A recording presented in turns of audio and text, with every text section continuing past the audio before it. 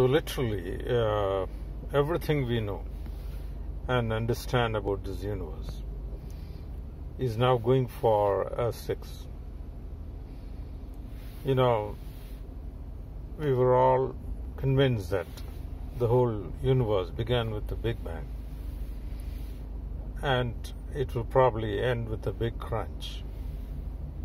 But the uh, latest uh, findings, with the help of James Webb, is that there have been several Big Bangs, or there have been many universes before ours. And the end of our universe may not be a big crunch. It could be a big freeze or a big um, rip.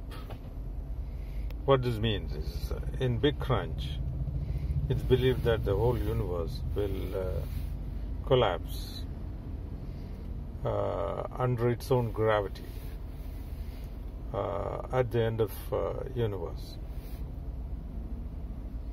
But new theories like uh, Big Freeze uh, are now getting more and more convincing.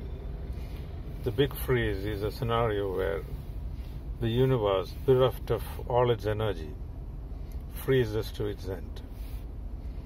And the Big Rip theory is that uh, universe which is uh, continuously expanding will expand beyond its limits and rip apart. Now, all these theories seem equally plausible and possible, making any understanding of universe impossible.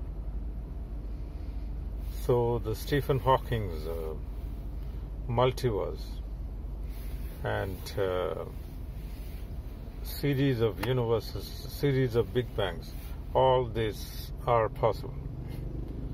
One thing is clear that there's nothing clear about the universe. Thank you very much.